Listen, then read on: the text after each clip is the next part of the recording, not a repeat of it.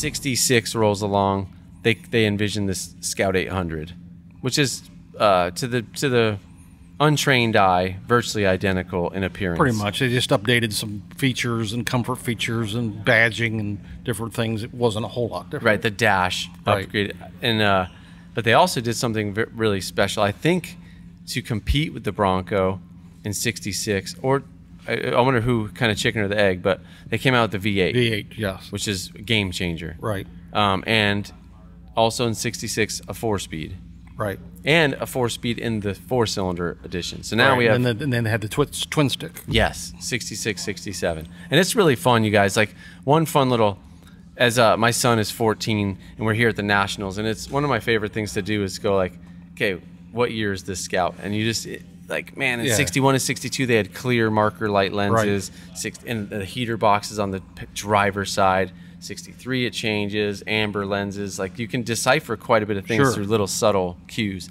Um, and that's a lot of fun. So 66 rolls around. We now have this V8 Scout 800 with a Dana 44 rear, still a Dana 27 front, but now it's like it's getting refined. And what's interesting is like the marketing starts shifting. Right. They they come out with a sport top and Yeah, which is like you know a luxury. Tried to dress them up with different packages like the red carpet special and Yeah, that's cool. that was things that's like cool that. model. The uh, uh, champagne yeah, colors, and those are pretty upholstery. rare. Yeah. Um, and what I noticed from looking just at like, I love looking at old ads, like Scout ads, because you see like now they're marketing to moms. Right. A lot business. of females in the ads. Yeah, Right. which is cool, and a lot of uh, business like business people. Right. Um, it's kind of it's kind of pretty cool. Um, and again, do you have any clue? Did production stay kind of stable, or did it go up or down? It was up and down. Up and down. Yeah. Um, but largely probably consistent overall.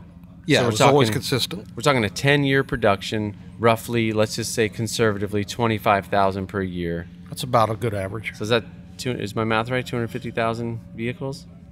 It's a there were 500 and some 500,000 total, so yeah, that's Wow. about right. This is this is Both good two stuff. and yes, yes, yeah. Scout 8, the first Okay, so you said in '66 now something happens, and h- how is it going at, at, at internationals? It, it's going well. They're doing okay. They've got the travel on. Their bigger trucks are doing well too. Yeah, that's right. Yeah. So And they the had a whole line. Yeah, and we're talking about the scouts because that's what's most popular. But Some of their literature said most complete line. Yeah. So they went from the Scout clear to these these uh, oil-filled behemoth trucks. Huge. that is that's actually something that. And Chevy had some bigger trucks, and Ford, but but International had like from semis, like That's full right. out everything. Everything. Um, and what is the distinction? One is so describe to us what is the light line. Light line would be Scout up to like a one-ton 1500 Okay, like pickup. Okay, Flatbed dually. which is cool. Um, and in the pickup trucks, little different beast, but they stopped manufacturing the pickup trucks and the Travelalls. In what year? 75. Was the 75. last. And they, About May. May of '75. Funny, we know. Uh, what was his name? I know Nick Foster had it for a while, and he sold it to. What's the guy's name that has the last 1980 Oh, uh, Lynn Faith, I believe, has the last truck? truck, but Mike Bolton has the Mike last Bolton, Scout. that's right. Yeah. and it's cool. I've seen the guy that Lynn got. I think got the last truck from. His name is Nick. Um, I've seen it.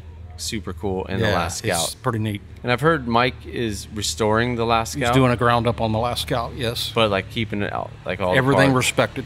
That's awesome. Um, so 66, some things come around. The market, they're trying to keep up with the market and doing a good job. The, the 8 8800 was a great vehicle. One shift, like Scout 80s, the windshield folded down. Right. Kind of back to the probably the Jeep inspiration. Sure. Then they quit that. Yeah, in 66, now the windshield is fixed. Although we've seen some, they That's snuck right. through. They snuck through. I, I've heard a story because a friend of mine had a 69 Scout 800 with a fold down windshield, and he said it was like a Forest Service, like some of the national parks and Forest Service special ordered those. I don't know if that's true. Possibly some military too. Yeah, military. And yeah, like you see scouts at airports at this Yep, time. Yep. Um, you ever see those big old Travelalls with like the eight doors Oh on them? yeah. Dog Day Afternoon was a movie that had one of those. Okay. Um, so 66 rolling around. The engineers are like, "What's next?" So what are they? What is that? What are they working on? Well, I was like I mentioned, they the sport top, and they came out with special models and uh, little improvements here and there. But they also, like much. you said earlier, they started designing the Scout 2. Oh, that started in '65. 65. Okay. Yeah, clay models. I've got pictures of those. There's some of those are in the book That's uh, crazy. on the Scout 2, and uh, it took them till '71 to get it out. yeah. And then I remember when the Scout 2 did come out, there were dealers that wanted them to keep both lines. oh, Offer really? For the economy Scout 800 really? because they were cheaper. Yeah. The Scout 2 was uh, technical, you know, technically uh, better, not a better, but a, Right. a more expensive So- so- design. yeah, so so some- it was a thousand dollars more. That's right. And we talk a lot about, uh, and in our business, we focus a lot on drivability. And when you talk Right. about a Scout 800, only ever came with drum brakes, Right. No power steering. never had power steering. Um, big old- vacuum light, uh, yeah, wipers. vacuum Yeah. wipers. Um, just very, very simple. The Scout 2 revolutionized all that, Yes, basically. they're quieter. Yes. more comfortable. Like they have uh, wider leaf springs, longer Right. leaf springs, so they ride better. Much better design. yeah, um, they leak less. They leak. I mean, anything with a right. removable top is right, going to leak. of course. Um, but now it's but even in '71, we have a couple a couple things shifted. Actually, we should just mention in 1969, a new engine is offered. The six cylinder, 232 AMC six cylinder. Became standard. yeah. So now we have the 196, the V8 304 at this time, Right. Like 69, 70, and the 232. That's Correct. it, right? Right.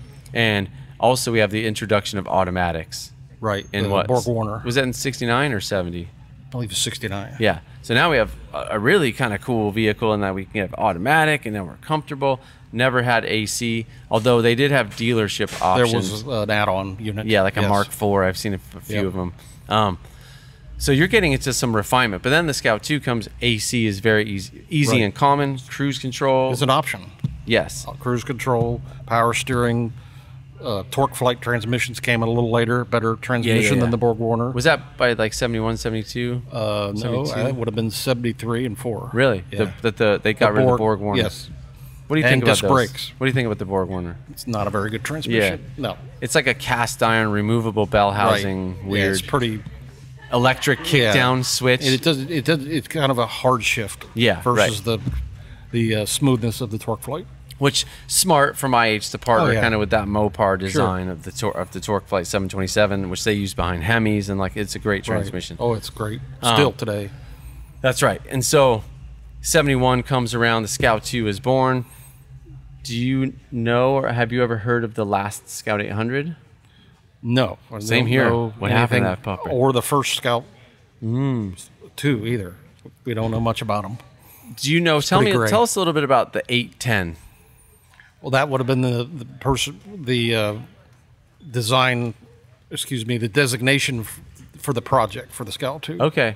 So So yeah, because there's some like there's some differences. Those very first, maybe the first six months of '71, like the glove box has a push button, Right. the VIN plate's in a different spot. right, those were eight, pretty much considered eight tens. Yeah, the shifter. Oh, like Right. you ever see those? The Borg Warner shifters are real funky Right. for the Scout twos. Right, Um, and then they drop that. And then they drop it a Scout.